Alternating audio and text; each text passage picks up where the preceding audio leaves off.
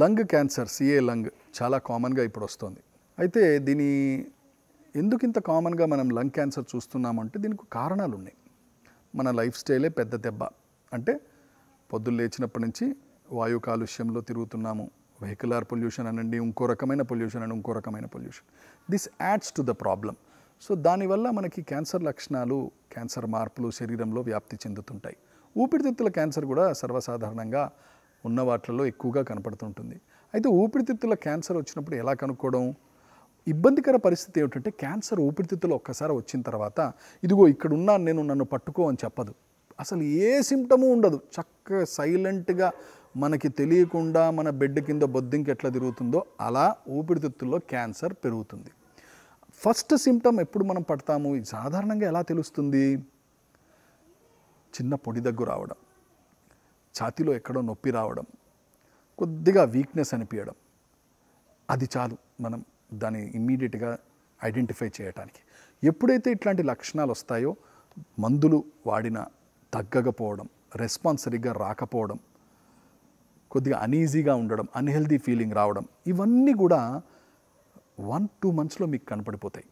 ఎప్పుడైతే ఇంత తీవ్రంగా అది ముందరికి పోతుంటుందో అంతకన్నా ఎక్కువ ఆలస్యం చేయకూడదు. చాలామంది ఇక్కడ ఒక పొరపాటు చేస్తారు. ఆరు నెలలు ఎనిమిది నెలలు ఇంట్లోనే ఉండి చికిత్స తీసుకోకుండా చూద్దాం చూద్దాం అని అంటారు. That is a precious golden time అంటాం మేము. ఆ గోల్డెన్ టైం సిక్స్ మంత్స్ మనం మిస్ చేయకూడదు క్యాన్సర్లో. ఎంత తొందరగా దాన్ని ఐడెంటిఫై చేస్తామో అంత చక్కగా క్యాన్సర్ పేషెంట్ బయటపడే అవకాశం ఉంటుంది. సో ఇమ్మీడియట్గా మీరు డాక్టర్ దగ్గరికి వెళ్ళాల్సిన అవసరం ఉంటుంది. ఈ లక్షణాలు ఉన్నట్టయితే డాక్టర్ గారు సింపుల్ సిటీ స్కాన్ తీస్తారు. అది ఎక్కడుందో మనకు తెలిసిపోతుంది. అది ఏ టైప్ ఆఫ్ క్యాన్సరో తెలిసిపోతుంది. దానికి రేడియేషన్ రేడియోథెరపీ తీయాలా? లేకపోతే కీమోథెరపీ చేయాలా? అది వైద్యుడు నిర్ణయం చేస్తాడు. రెస్పాన్స్ చక్కగా ఉంటుంది. కంగారు పడాల్సిన అవసరం లేదు. ఎక్కడ ఇబ్బంది వస్తుందంటే వైద్యులకి చాలా లేటుగా రెస్పాండ్ అవుతారు. లేటుగా రెస్పాండ్ అయితే ఆ క్యాన్సర్ వ్యాప్తి చెందుతుంది. బాగా గుర్తుపెట్టుకోవాలి ఇది. క్యాన్సర్ వ్యాప్తి అంటే ఒక్కసారి ఆ క్యాన్సర్ కణాలు బాడీలో వదిలిపెట్టిన తర్వాత ఒక్క ఊపిరితిత్తుల్లోనే కూర్చోవు. మూత్రపిండాలకి లివర్కి బ్రెయిన్కి ఇట్లా వ్యాప్తి చెందే అవకాశం ఉంటుంది.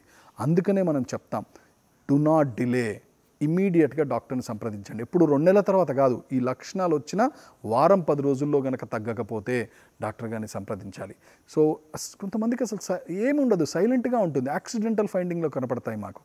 అందుకని లక్షణాలు కనపడితే మాత్రం ఆగకూడదు. ఖచ్చితమైన ట్రీట్మెంట్ చికిత్సా విధానం అడ్వాన్స్డ్ ట్రీట్మెంట్స్ ఇప్పుడు కీమోథెరపీలో కానీ క్యాన్సర్ రేడియోథెరపీలో కానీ వచ్చాయి కాబట్టి దీన్ని అశ్రద్ధ చేయొద్దు. ఫస్ట్ సిమ్టమ్ని పట్టుకోవాలి చక్కటి ట్రీట్మెంట్ తీసుకోవచ్చు.